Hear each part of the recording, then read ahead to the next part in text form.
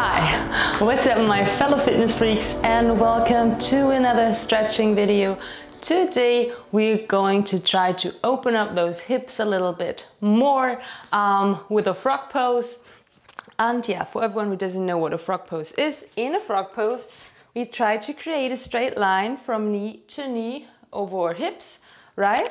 Uh, and that is what we're gonna do today. Um, if you're warmed up, perfect. If you're not warmed up, go take a hot shower, do a few jumping jacks, do one of my warm-up routines, um, and then come back and let's stretch. So, I'm gonna use that towel because the mat is kind of sticky and then I'm gonna hurt my knees and we don't want that, right? So, okay, so it depends on, on how flexible your hips already are, on how far down you can go. We try to have a nice 90 degree angle here at the knees and then we try to come down. And maybe this is the furthest that you can get down. This is fine too. But maybe you can open up further by moving back and forth here, right? Moving back and forth a little bit, opening up those hips. You could even wiggle a little bit, right?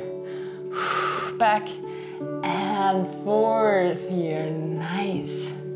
Right, opening up those hips. And if you're not that low down, don't worry about it. Just keep stretching, right?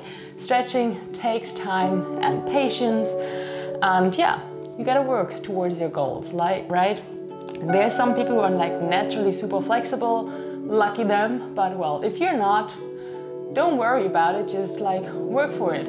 I mean, it's even a bigger achievement if you have to work for it, right? Because like if you just if you're just able to do it, then you're just able to do it. But if you work for it and work and work and work and then you finally manage to do it, this is such a good feeling. I love doing that, like learning new things and achieving stuff. It's so satisfying, right? So satisfying. So now, if you can, rest that chest on the mat or on the floor and then roll the bum up and the hips down here, right? Bum up and hips down in order to open up those hips even more. And then you can wiggle again and maybe, woo, gravity will pull you further down and will open up those hips even further. And these stretches are super good if you want to work uh, on your pancake and your middle splits and yeah, but don't overdo them, right? Be gentle with yourself. Be gentle with yourself. You don't want to hurt yourself. Um, if you hurt yourself, if you like overstretch, then uh, yeah, in the end you're gonna progress even even slower because you won't be able to train. So take your time. Take your time. Wiggle again. Wiggle and now let gravity pull you down. Stay here and breathe. Enjoy that stretch. Feel the pull in your inner thighs. Feel how your hips are opening up.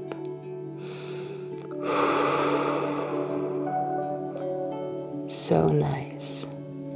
And now uh, you can actually stay in that pose, but I'm gonna switch sides. I'm gonna like uh, show you from the side so you can see that better because we're gonna do some stuff with our feet now. Up. So, um, so we're still in that uh, frog pose, right? In the frog pose here, down. And yeah, maybe you're like on the floor here with your chest. You can come up now again onto your elbows or even onto your hands right? This is fine too. And then move back and forth here, back and forth to open up further. Now move those feet up, up, turn them up, up. It's just a teeny tiny move, right? It's not much, up. If it hurts your knees, maybe you have to use this thicker mat or put some towels or something underneath your knees. Let's stay here for three, two, one. And now feet in, right? So that your, your big toes are kind of touching here. And you keep moving back and forth, rolling the bum up and the hips down. Bum up and hips down. The door just opened there. I don't know why. Well, that happens sometimes with the wind. Bum up and hips down. Keep breathing. Wiggle again, wiggle. Back and forth. And now try to get the chest and your upper body close to the floor here. Stay here for a moment.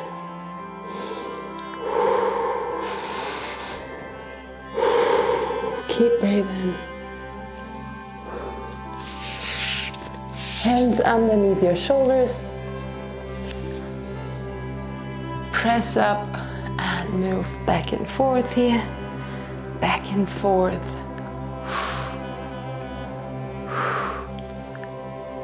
How does that feel, huh? Stretchy? Open already?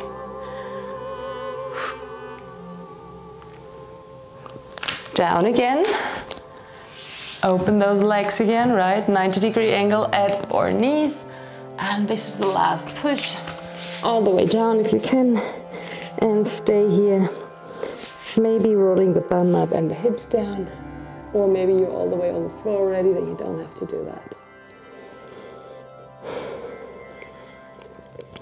Stay, stay here for 10, 9, 8, 7, 6, 5, 4, 3, and 2, and 1. Up, in, up, ah. Can put the towel aside.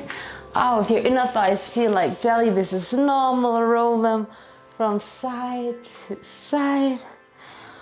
Whew. And that was it. I hope you did like it. Oops. I hope it did help you with your hip flexibility. Check out my other videos too. Have a great week and see you soon. Bye bye.